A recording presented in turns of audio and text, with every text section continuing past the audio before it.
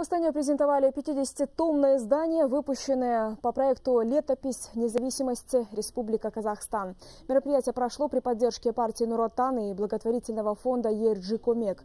Автор проекта – государственный и общественный деятель, доктор филологических наук, профессор Мирзатаев Жолдоспеков. Труды начали издавать с 2008 года. Они раскрывают роль первого президента Казахстана в строительстве нового государства и развитии экономики. Очередные 10 томов проекта рассказывают о международном авторитете Нурсултана Назарбаева и его дальновидности в оценке происходящих в мире событий.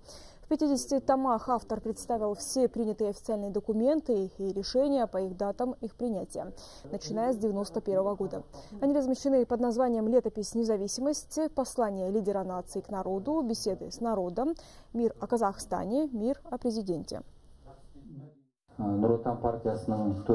Председатель и основатель партии Нуротан Нурсултан Абишевич Назарбаев всегда говорит, что главное это не только экономика. Самое главное это наша культура, искусство, язык. Он уделяет особое внимание этим вопросам.